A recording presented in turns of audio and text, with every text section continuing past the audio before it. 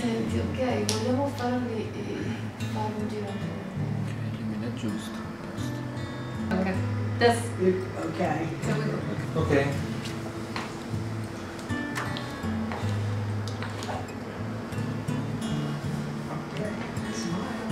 Yeah, Smile,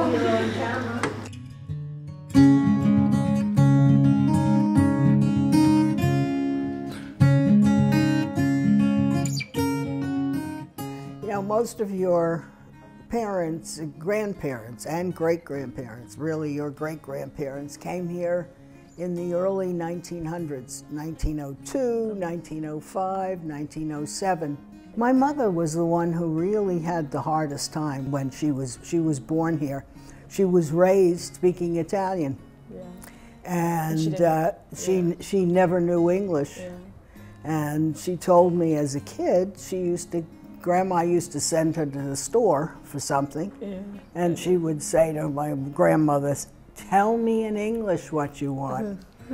grandma said, I don't know how to tell you in English. So my mother said she used to go to the grocery store and walk up and down the aisles trying to find what it was grandpa grandma was looking for. So she, in essence, was the first one to speak English, and um, it also probably explains why she never wanted me to learn the language. Yeah, I remember you told me that part. Yeah, she That- that just, was- uh, you know, you're Americans, that's it. In fact, once I said to her as a teenager, Mom, why did you name me Aileen, not Maria, Grace, Francis, whatever? Oh, she said, it's an English name. And I thought to myself, I was about 12, 13, what does that mean? Yeah. And what it meant was, you're not going to be Italian, you're going to be an American. And that was it. I grew up in Brooklyn. When five me years earlier. old, the war broke out. My grandfather lived downstairs, and he was a great fan of Mussolini. And my mother was very upset with him and made him didn't want him to talk to us about Mussolini. So I knew when I was about six, seven years old that I was Italian. Yeah. I also was aware of the fact that we were fighting with Italy in a war, a major war, which was kind of scary to a kid. Yeah. So the war years be, were between when I was five to when I was 10 years of age. So you were in school for that. yeah, I was in school. People, I was aware I was Italian, and Would people say things? oh yeah, oh yeah. I remember the kids used to sing, um, "Whistle while you work." Hitler is a jerk. Mussolini is a meanie, and the Japs are worse. so we, we learned that was the uh, original Yeah. contact with my Italian background.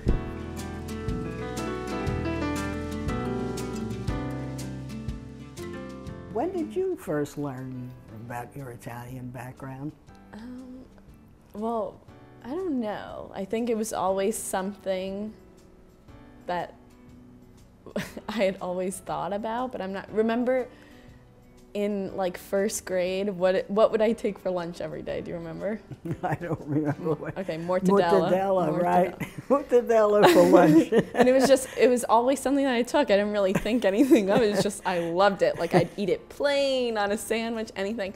And I remember my teaching assistant would come up to me and be like, "Mortadella, like that's amazing." And I'd be like, "Yeah, it's like I'm in first grade. That's what my mom packs me." And she was Italian and mm-hmm. like was so amazed that like someone else so young was eating it. But I think it was just like something I don't I don't know who started well, your father was born in Argentina. Yeah. Half the population is Italian exactly. there. And mm-hmm. I remember he used to say that like so they're Jewish, my dad's Jewish mm-hmm. and on every Sunday they would go over to their um, the neighbor's house for Sunday um, early supper and have spaghetti and meatballs and that was the only exposure he had and it was just like he was an Italian but right. that's right. like that was something that he grew up with Right, even though he wasn't. Italian.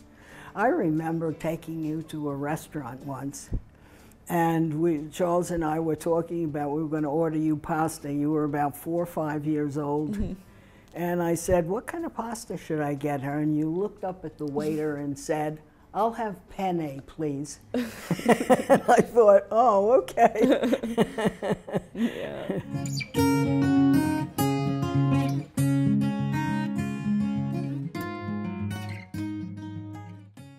The youngest girl in my mother's family married the very first Irishman. Prior to that, my Uncle Joe, Okay. Uncle Joe Brennan. Prior to that, intermarriage was Sicilian with Calabrese, Sicilian with Abruzzese, Sicilian with, uh, that was an intermarriage. So she married the first Irishman, and uh, she was 10 years older than I, and very much a role model. So it was then I began to uh, think about marrying somebody who wasn't Italian. Besides, the Italian boys were short.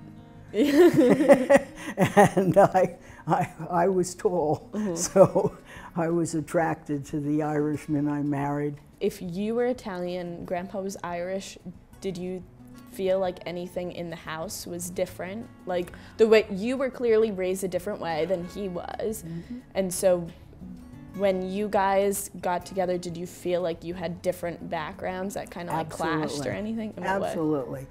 His, his family was very distant. My family was all over me and him. so he was overwhelmed by, by the family, the size of the family, the noise in the family. and uh, I think like the difference between you and grandpa is that like you're very Italian. Like being with you guys, like I feel like it's like we're an Italian American family. Sometimes I forget that grandpa's not Italian. And I think like being from so many different backgrounds and having like daddy from I guess Eastern Europe because that covers everything like Russia, Poland, everything.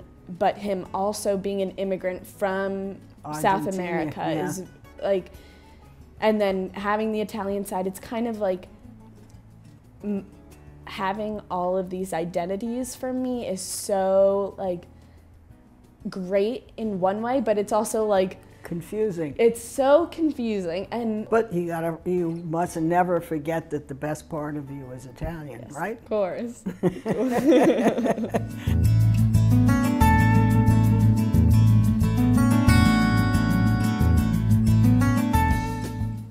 First time I went to Italy was in around 1975, 1976. Your mom was about 15 years old.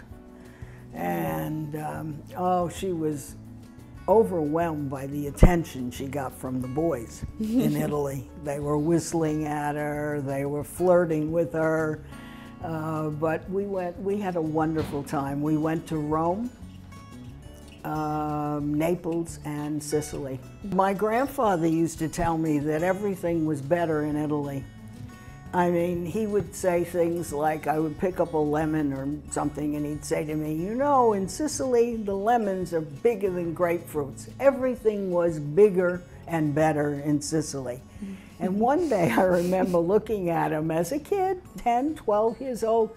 I said, But Grandpa, if everything was so good there, why did you leave? He went, Ah, and he walked away.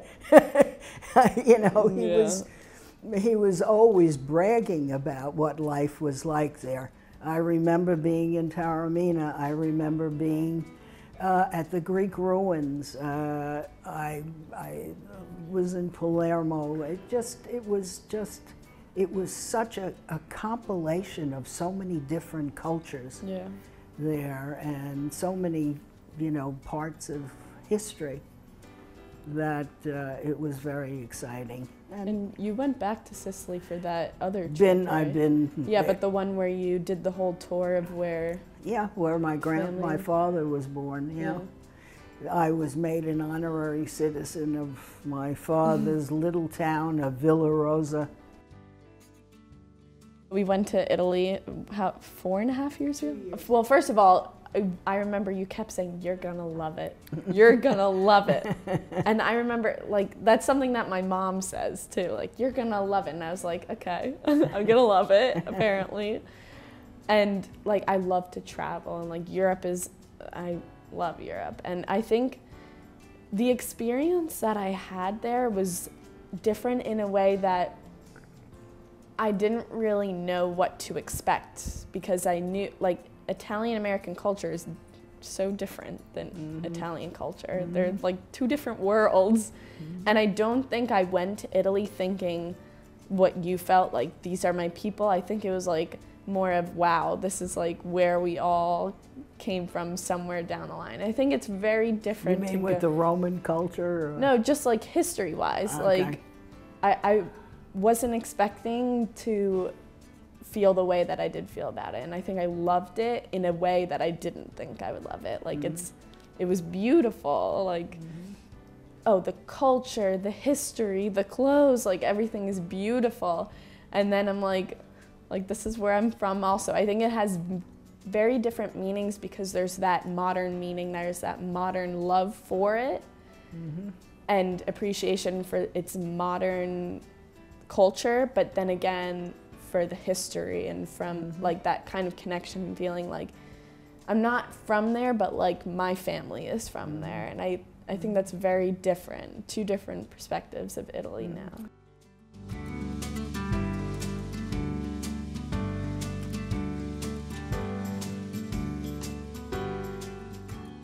At one point in my life, I think I got involved uh, with the I trying to figure out how one's culture affects your personality, how it affects your way of seeing the world, how you how it affects your way of thinking about things.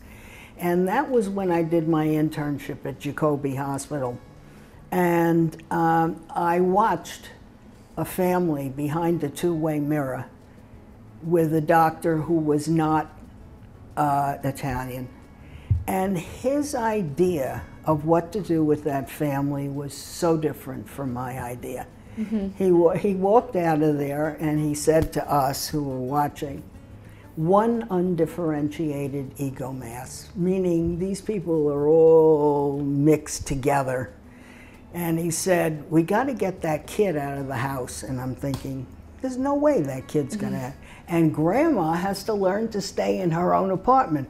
There's no way grandma's going to stay in her own apartment. Mm-hmm. So what is he talking about? He's he doesn't understand what an Italian family is about. So uh, at that point, I began to try to study these things myself. Yeah. That's when I did my ethnotherapy project. Mm-hmm. It was in the 1980s. And then, of course, I also found that I had no Italian friends and I thought I would join an organization. Mm-hmm. So what did I do? I went to uh, meet the newly elected Congresswoman, Geraldine Ferraro, in 1980. And I visited her in Queens and I said, Are there any Italian American organizations for women? Yeah. And she said, no, there are men's and women's organizations. The men make the speeches and the women make the coffee. She said, maybe you ought to start one. so I thought, that's a great idea, you know? so we, I, she invited a whole bunch of people to my apartment and that's how our organization, the National Organization of Italian American Women, began. The beginning uh, was bumpy because I don't think anyone knew uh, really what this was going to be. I certainly didn't know. At that time, yeah. we were struggling with the idea of professional life and the responsibilities as Italian American women to the home and so yeah. on talking about another century and the life, the issues that we were dealing with yeah, at that time. Because now it's just like. Right. When was the first time that I went to? Oh God, you were six or seven yeah, years old. I don't think I even Six years it. old, you always, were a child, yeah. very, an infant. Yeah. It was always like a part of my life, and I remember, even in elementary school, when I was that teaching assistant that I was telling you about with the mortadella, I was like, my grandma, she's in this organization. I think you would like it. It's called NOIAW, and you should join it. And she was like, okay, okay. And like, I still do that. It's just like something that I grew up with. And I think it was something that I grew up with and never thought about. It was just like I went to these luncheons, I met all my mm-hmm. grandma's friends, and it was just like so much fun. And um, I think you and mommy did like such a great job of raising me in a way that women in power wasn't like that wasn't abnormal at all. The sad part about needing feminism is that it once wasn't a thing. Like women once didn't have any rights at all that are the same and having an organization that combines both your culture and feminism is like really like this is right you know what interested me more than anything else was, uh, and I watched this with therapists, with psychologists. Um, they always had a sense of women being uh, submissive, masochistic, uh, quiet. I didn't know women like that. Yeah. the women in my family were powerhouses. Yeah. I mean, they they ran the family. My grandmother couldn't read or write in English or Italian. She couldn't. She wrote her name with an X. Mm-hmm. But that woman was in charge. I mean, everybody knew that. She and was about was four. that's right. She was about four, five feet yeah. maybe. But uh, the women were very strong the issue, I think, for Italian American women in those days was to translate that power that they felt at home to the outside yeah. world. I don't, I, I didn't realize that you went to Jerry. I, I don't know. I just always thought that, like, like Jerry is Jerry. You guys have been friends for so long. Like, she was such a big part of the organization and your life. I what did you i didn't realize how i never thought that you guys weren't close before that that's so like right. not a well, concept it was it was an instant friendship yeah and uh, it was um, an opportunity. I mean, we really met on the level of being two Italian American women who both had children the same. Uh, her oldest child and and Joanne are the same age, I was a month older than her. And um, we had a lot, that basic yeah. uh, knowing each other. You know, one of my friends, Donna, often said, when you meet another Italian American women, woman, it's like coming into a play on the second act. You know what the first act was all about. Yeah. Well, when I met Geraldine, she was in Congress. Yeah. She had just gone gotten elected to Congress. And four years later, who would have expected her to be nominated to run for vice president of the United States? From your apartment. And uh, four years later, this her life was turned upside down, and uh, she broke a, tremendous barrier for women. Yeah in what way? What uh, by being the first woman to Did she ever say anything about that? It just was. No, it just was what it was, and it was very exciting. Her world was uh, turned upside down, yeah. and um, unfortunately, she didn't get elected. But um, she it was a very yeah. exciting moment in history.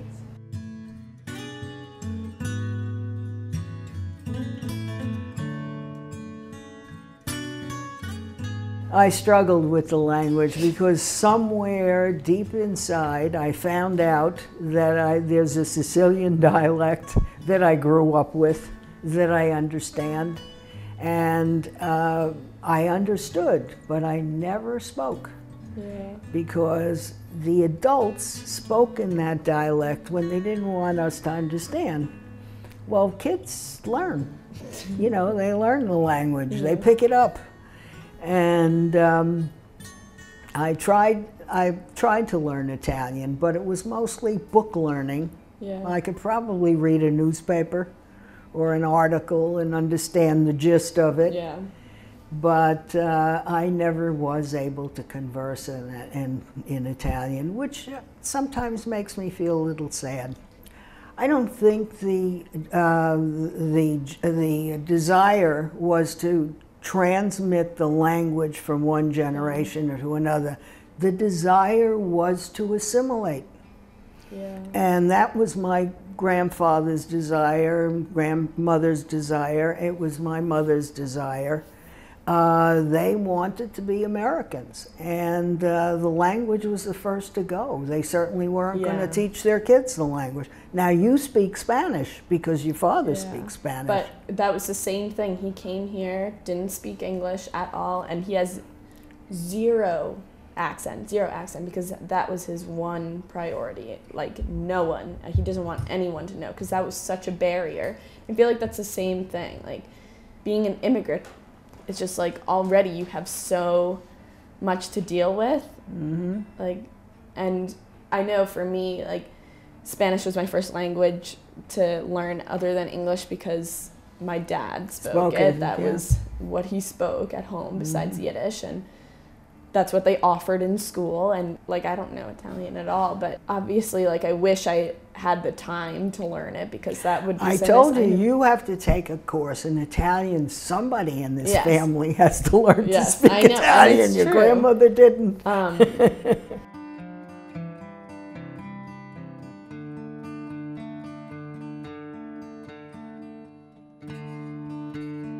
when I think of Italy itself as a country, I don't think of food.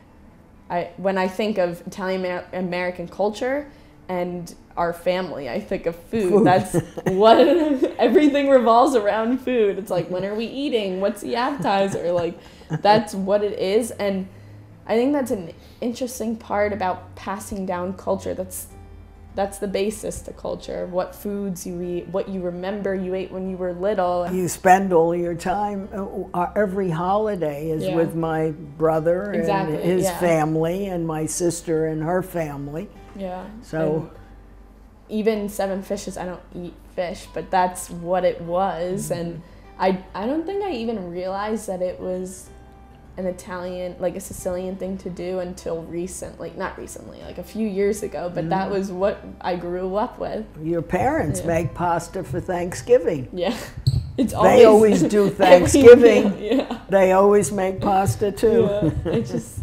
Well, I feel like you, I like, I always associate you with pasta and stuff. That's a great thing to associate. What can I say? I mean- I think I cook the way my mother did. My mother would feed us pasta with broccoli, pasta with cauliflower, pasta with mm-hmm.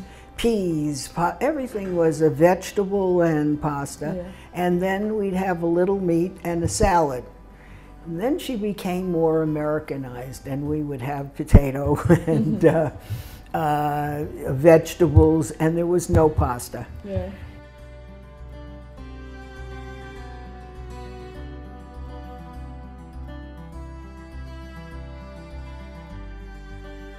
I think Italian culture and Italian American culture are different because Italian American culture is what our grandparents, what our great grandparents took from Italy and kind of like kept. It's not something, I think in our case, it was never like they came from Sicily and are always up and like, oh, this happened in Sicily, like the styles are changing, like we're gonna bring that here. I think it's like very old world in a way. And Italian American culture is old world, and I think that's the difference between Italy, and that's why I liked. That's why Italy was extra special to me because it was like I'm Italian American. I have that culture part of me, but I also loved Italy for Italy. It stands to reason that the people came here, came here, what, 100, 120 years ago, and being in a strange place, America was a strange place to them. They held on to What they knew. what they knew, which was the culture of Italy at that particular time. And their thinking and their attitudes, they passed them down from one generation to another. while Italy was changing, they weren't. Yeah. The culture that people brought here mm-hmm. with them when they came at the early 1900s was very different. The attitudes were very different. Well, I mean, women. I mean, I remember my father uh, saying to me, No daughter of mine is going to bring disgrace to this family. And I was like, What was I going to do? You know?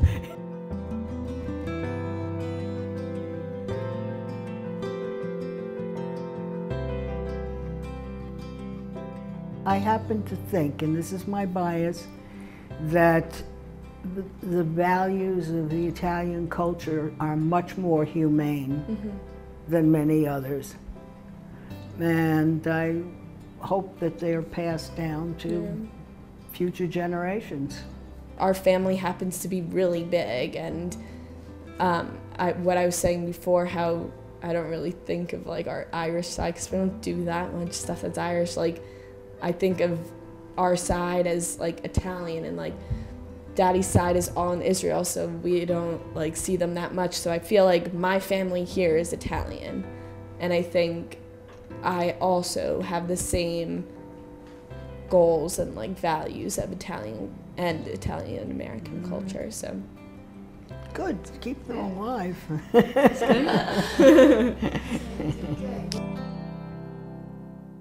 we all set? okay, yeah, Listen, every time I look at a woman in high heels, I say, I fought to get women out of high heels. Look at those women now. Why are they wearing those things? that was what we did.